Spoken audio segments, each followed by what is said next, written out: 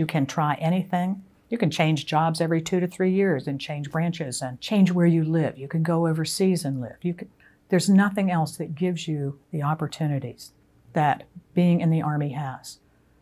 You are about to embark upon the Great Crusade. To meet this mounting aggression. And make no mistake about it, good will prevail. I was in the U.S. Army from 1977 through 2013 when I retired. I retired as a Major General. I was born in Grove City, Pennsylvania, but that's where the hospital was. I was actually from Stoneboro, Pennsylvania, a very small town, population about 850, and that's where I grew up. I have an older brother, an older sister, and most of my cousins were at least 15 years older than me. My dad drove a train for New York Central. He was an engineer, and when I was a kid, he had a whistle that was just for me to let me know he was coming home. So I always knew where my dad was. My mom and her brothers and sisters ran a grocery store, a general store at that time. And in this little town, there were a lot of Amish people who lived on farms and would come in on Saturdays with the horse and buggy to shop there. So it was a very different time, I think, to grow up because in this little town, it's almost like time forgot in some ways. So I would I used to think that I was growing up in the 1930s and 40s with some of the ways in which things were done, the way the school was, where you had teachers in school who taught not only your siblings but your parents. I chose Edinboro, Pennsylvania, Edinboro then State College, now Edinboro University. I studied English. I also was a photographer with the sports department, the editor of the yearbook, I didn't want to teach. I didn't necessarily know what I wanted to do with it, with the degree. I finished in 1975, stayed another year, had a master's degree, and then I had friends who were joining the Army. Uh, very difficult time right at the end of Vietnam, but they were enjoying the challenges, they were traveling, they were having new experiences, and I thought I could do that as a way to get started in life, as a way to launch. I did not go through ROTC. At that time, the there was a program called direct commissioning. It still exists or exists in new forms today for some specialties like cyber. But at that time, this was a direct commissioning program into the Women's Army Corps. The Women's Army Corps was started in 1942 as the Women's Army Auxiliary Corps. In 1943, it became the Women's Army Corps, which was at that time meant to provide women to serve in the Army during World War II, emergency service only to be terminated at the end of the war. However, what, because of everything they did, not just in the Army but in the other services, at the end of the war in 1948, President Truman made women's service permanent for all of the armed forces. It was very competitive, so there were about 110 slots per class in the WAC officer basic course, and there were probably five times as many applicants for each slot in that course. So it was a very high caliber of people selected. Um, it was very difficult to get in, and I was in the next to the last class of WAC officers selected. So one day you, you know nothing, and the next day you were touched by the magic wand and you're a lieutenant.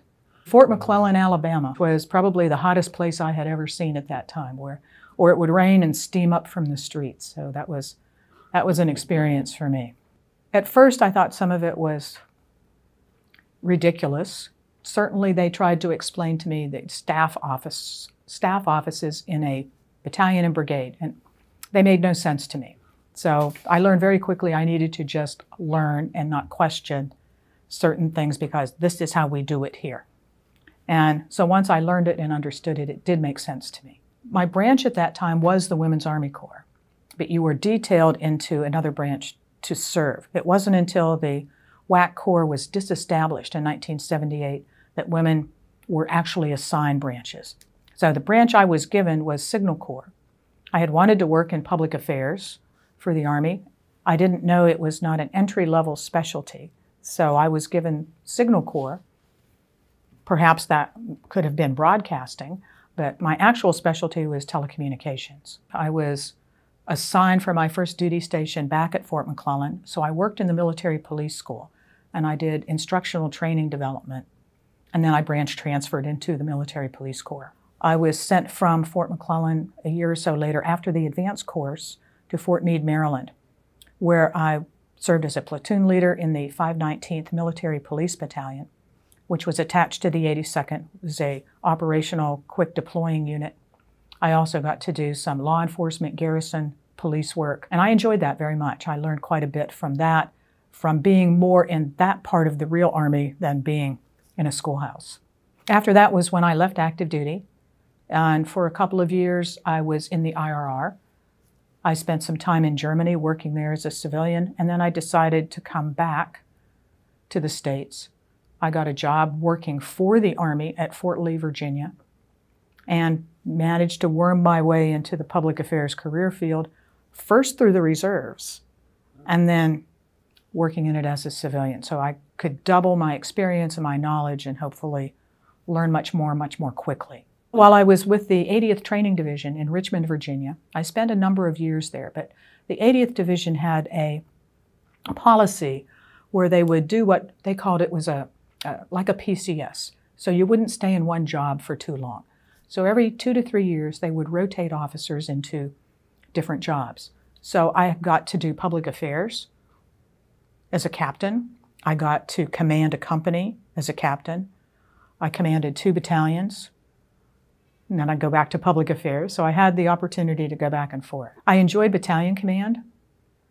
I enjoyed brigade command more than battalion command. In battalion command, I had too many bosses. And in brigade command, I could actually work to make a difference, I thought. And Army Public Affairs exists, has since 1922, to inform the American people about what the Army is doing, what their Army is doing, what your taxpayer dollars are doing, what your people are doing. So I, I liked all of the parts of different types of public affairs planning, execution of missions. Um, I got to have some great experiences in going to different exercises. I got to be an observer controller in various places. And after some time in this, I got a new civilian job and I moved to Germany to work at the George C. Marshall European Center for Security Studies. Now, by that time, I had been teaching media relations at not just the quartermaster school, but at the Logistics Management College at Fort Lee. So once in Germany, I continued to teach, but now to international audiences. So I taught media relations to our foreign area officers. I also taught the international students. I got to run conferences in Croatia, in Moscow, in Hungary. I taught at the NATO school and I taught at Sweden's International Training Command for 11 years. My goal was to become a colonel. I knew I could I knew I could get to lieutenant colonel. I wasn't too sure about the colonel part. So while I was still in Germany, I applied for the Army War College. I knew that was a step I needed to have. And I was not selected the first time or the second time or the third time because I had applied to go in residence. Once I applied to do it by distance learning, I was accepted. Yeah. So then it's the two year program, not just the box of books, yeah. but it, by that time it was also online as yeah. well. So I did some of that. Then there is 9 11. Um, I am now promoted to colonel and recalled. So I spent the next six months on active duty at the U.S. European Command. So my reserve duty was with EUCOM in public affairs, and they ran out of money and told us all to go home. So by then, the Marshall Center had backfilled my position. And so I came back to the States, and I took a civilian job with TSA, which was brand new then. In 2000, two to four. And then I had brigade command in the reserves, which was a training unit, but not either military police or public affairs specific. What is, what is the role of public affairs on the battlefield? It's several things. First of all, it's communicating with soldiers in, inside of the units that are deployed. These are things you need to know. Here's what you need to understand about the mission. Here's where we're going next. It's also talking to the local populace, some of this outreach and then there is talking to the families and the troops back home and to civilian audiences back home. So it's all three things. Now, when I left Brigade Command, I was also working at DoD. I was with the Reserve Forces Policy Board. So I got to see policy being made up here. And then at my other job, I could see how it trickled down and came out at the other end, if it ever did, which was very interesting and, and also instructional as to how you inform policy so it actually does make a difference to the soldier on the ground. So I got to spend some time with some high level people there and learn quite a bit from them. I was selected for Brigadier General at that time. I didn't expect that. I did not expect that. I was not anticipating it. Um, many people were shocked, and I was one of them, I think. I had been a colonel at that time for about a year. I was selected to be the Deputy Chief of Public Affairs as an IMA or individual mobilization augmentee to backfill there. So that was my next assignment. I spent three years in Army Public Affairs. I'd spent some time doing different taskings that had me travel to different places in the Middle East. I'd been back to Germany. I still taught.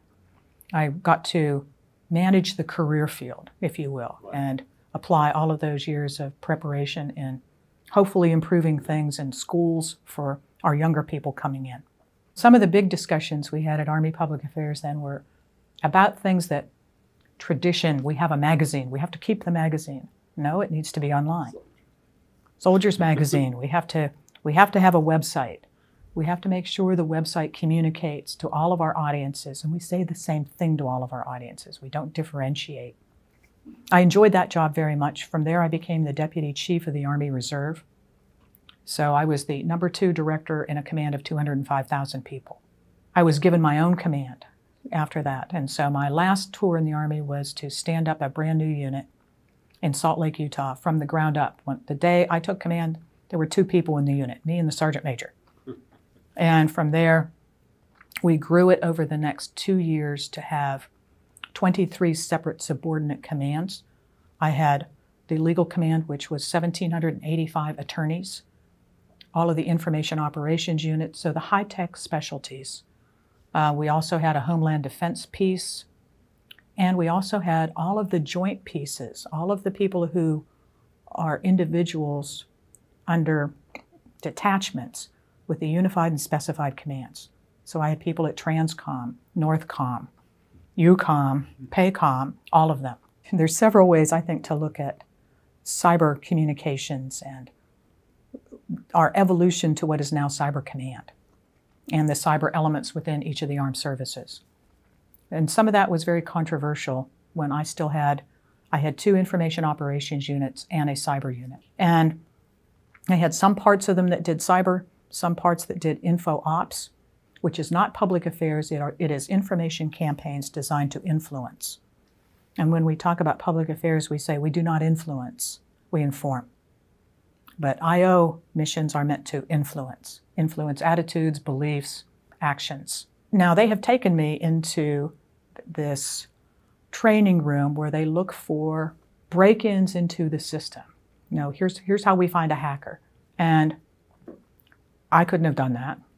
It was really difficult to understand how the work proceeds. And this type of training has to be done in a closed system. You can't do it on an open network that is active. So it was interesting to see how it works. Many of the people who work in that field in the reserves do similar work as civilians, so they are very highly trained and experienced, whether they work for uh, cyber companies independently or they do some combination of cyber and intelligence work. So part of my job was to understand it well enough to be able to promote and support and protect interests with equity as to these decisions being made as to where this would be placed.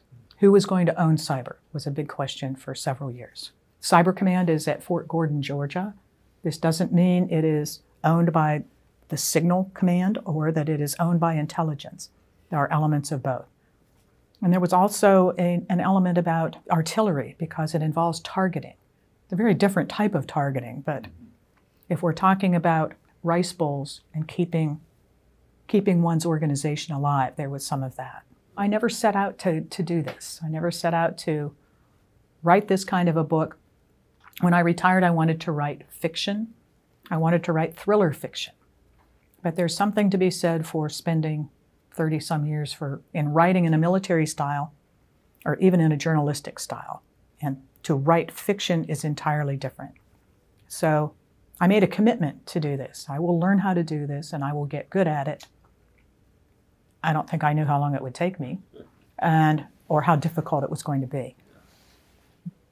But I worked at it and I had written three, four, five books that are still on a shelf, and I'm still thinking about them when in 2017 I was asked to speak at AUSA as a substitute.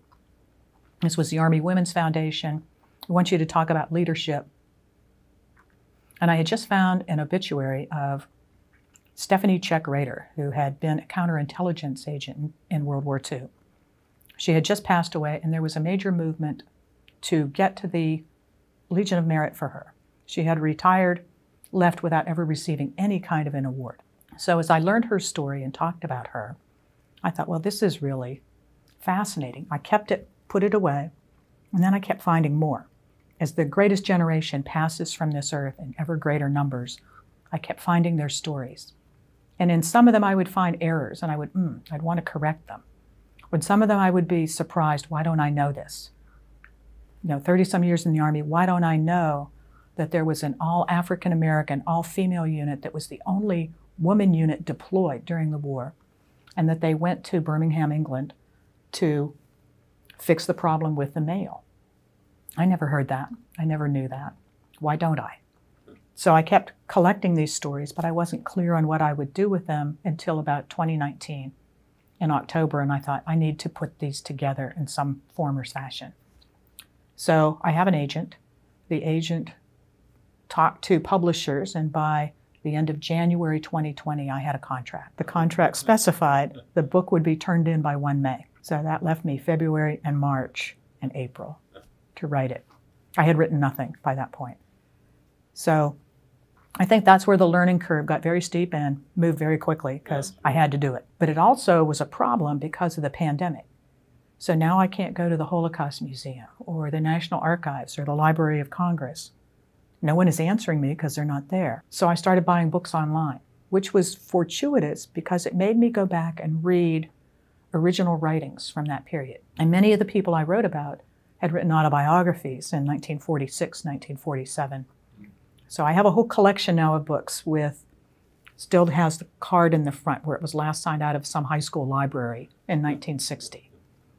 But that was that was the basis for writing the book was to to tell the stories, to share them further, to have the opportunity to build an understanding of what they did to create the modern opportunities today. And also, I think, to honor them and, and their families. Charity Adams is certainly one of my favorites, the commander of the 6888 Postal Battalion. I did read her autobiography, published in 1948.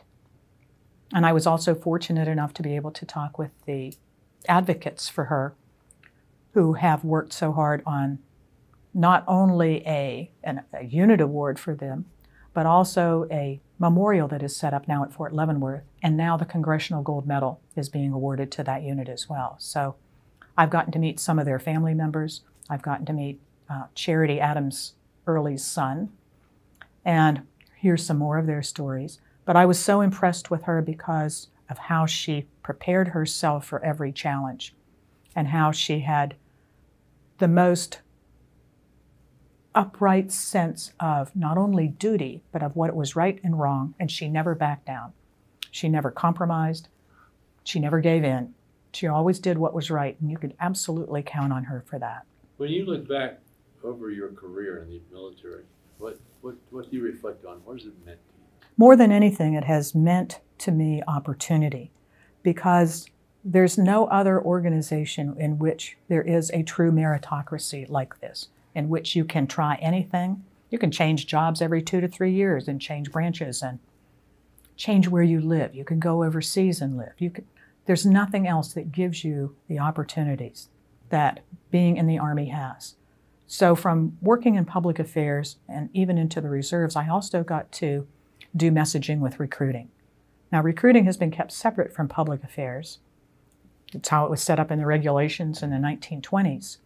But being able to see how this works and how it is structured and how it is meant to bring young people into the service. I think the messaging that you do in public affairs and recruiting is very similar in some ways.